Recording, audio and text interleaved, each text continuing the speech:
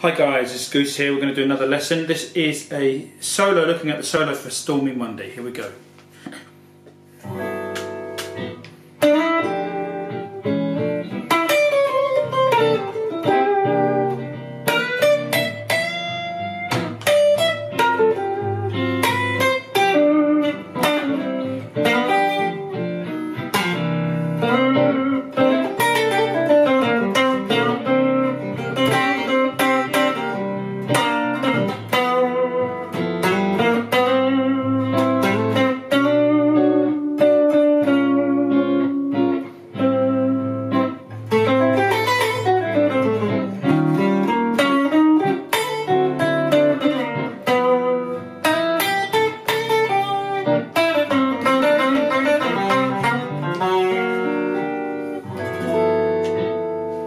Okay guys, as you may notice here, um, I've actually got a looper pedal, so now I can, we're a bit, um, we've gone up a level. So what I was basically doing there, just to talk about it first and then we're going to go into specifics, is I'm thinking about chord tones, I'm thinking about arpeggios, I'm really, again, I'm thinking about the chord, the chords that are underneath me. Um, the last lick, obviously, I played with a T-Bone Walker lick, I played some B.B. King licks, um, you know, I played, I referenced maybe um, a, a Dickey Betts from the you know that you know that was a, a Dickey Betts reference from the Allman Brothers. And we've got the um, T-Bone Walker reference. Because it's important when we're when we're playing a solo just to maybe sometimes reference those those who have gone before us and the history you know the language of that particular song. So it's always it's good to throw in a few licks you know. Um, so let's just um, go from the top. We've got this um, one bar of G7, and then it four, and then it goes into a C7, two, three, four, back to G7, two, up to G sharp, and now back to G. So let's look at those four bars and just see how we can navigate them. So my to get into this tune, I'm just going to play a major blues lick. Let's just bring this down here so you can see this. So I'm going to play here on the 8th fret, but um, this is my root note here, the first finger, but I'm going to use my second finger, 7th to 9th fret on G. You know, don't go, it's two notes. Now that there is actually a tone and a half, it's three. It's, I'm actually bending a minor third. So it's, you know, sometimes you hit it, sometimes you don't, but you know, really milk that because you're gonna, your entrance has got to be nice and melodic. That's my favourite lick. You, and you're just hanging on that F natural. Okay, so that that kind of that brings you over the first bit. So let's just try that with the music. Here we go.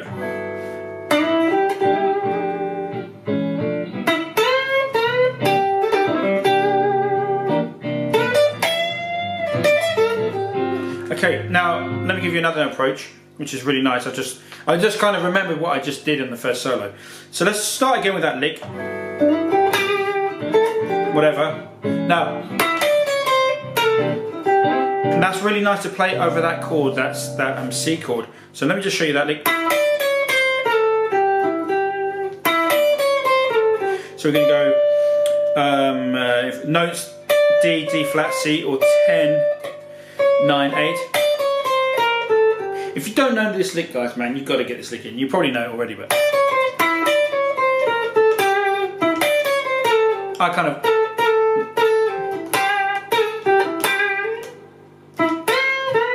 So a few licks for you to play there. Now, but when it goes to that G7, we really want to hit that. We want to go, or that's a G sharp 7 arpeggio. So let's just look at that. Um, we're on the um, 6th fret, D string, G string, 5th fret, B string, um, 4th fret, pinky on the 7th fret, B. So let me just show you how that works out.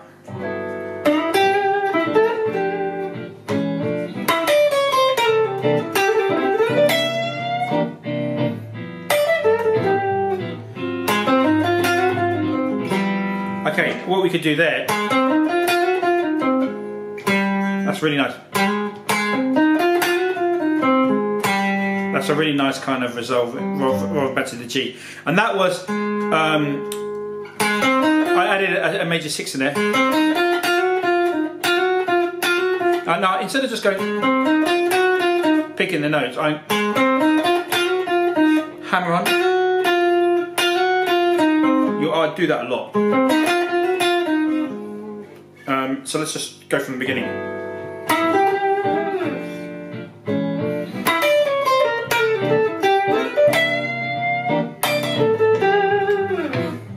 Here we go. So that, and then we can then we can just break there. We can just leave it on that. We can wait now. That will be really nice to do over that C. Because there you're going to the major third of a C9 chord. So that's the fifth fret. If I'm going too fast, guys, let me know in the comments um, when you watch this video. Not obviously live because we're making it. Fifth, third, second fret, G, F, E. That E note, E natural, is actually a third. Do, re, mi, is a, a major third of the C9 or C major chord. C major and C, C9 are totally different chords, as we know. They share a, a major third, they share a perfect fifth, but the C9 has a flat seven, and the um, C major has a major seven. But I've shown you, told, I'll tell you that in another lesson, better, clearer than what I have done already, because we're to, I'm to get a, a, whiteboard and write it all down, and so you understand chords. But we'll, we'll get to that soon. So here we go. We're, now we're on to that C.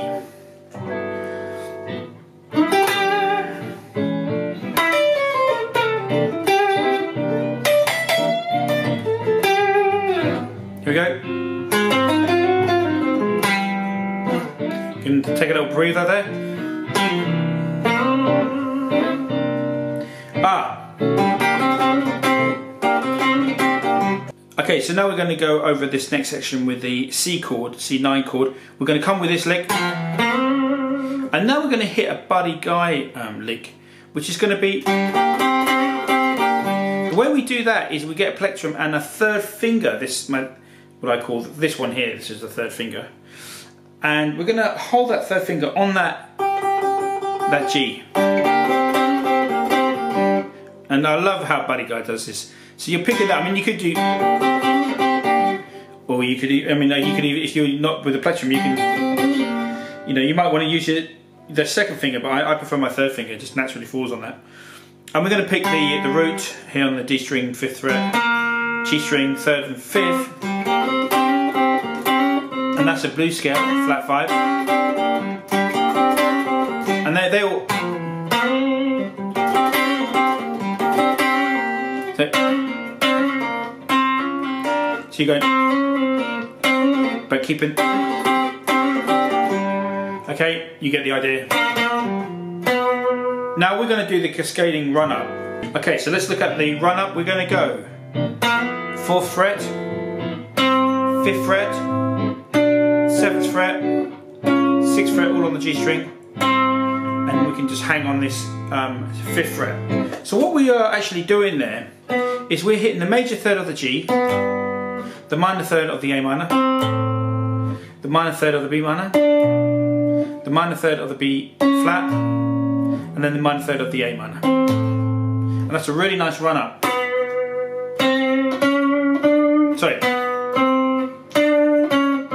Now, well, you could, you you might want to pick pick a fifth. You know, you could you could so you could get. Um, and you could just experiment with other intervals. But I like that. I like the third. Because remember, these are minor chords, the A minor, B minor, B flat. So that's going to get you over that. Now, if you wanted to get more technical, you could play arpeggio. So you could go, do our friend, the G7 arpeggio, which we did earlier. A minor 7 arpeggio. And we could go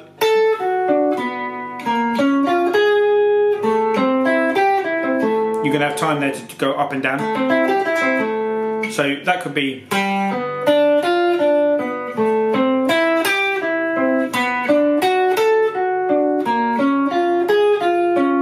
could do something like that. It'd be a bit boring, I think. Uh, but what these arpeggios are for, the reason we learn these arpeggios is so we can pick out the intervals.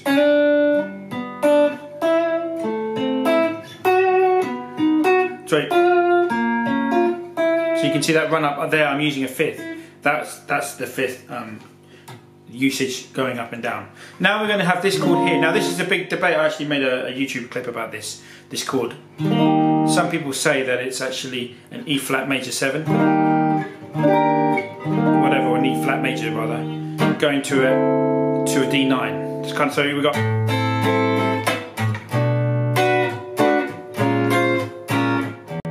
when we go there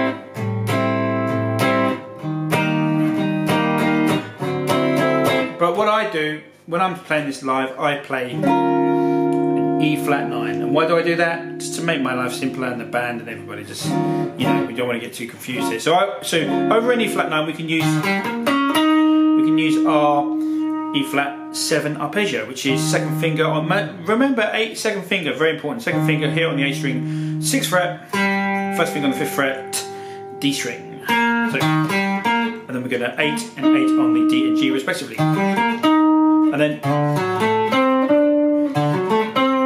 I'm adding the flat 7 there, sorry, I should have done that. Which is on the 5th fret G string. And then you're to get back to here. Now, T-Bone Walker, I'm going to be um, picking around here, around this area. Ronnie Earl is really good at this sort of stuff, you know. But um, there, I'm going to just do the kind of Chuck Berry, T-Bone Walker. Well, Chuck Berry probably started off T-Bone Walker. Well, he did.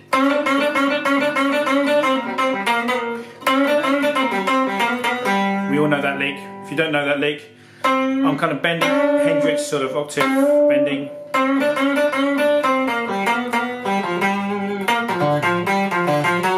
And I might want to end on that major the um, D, the, the, the, major third of the D9 chord.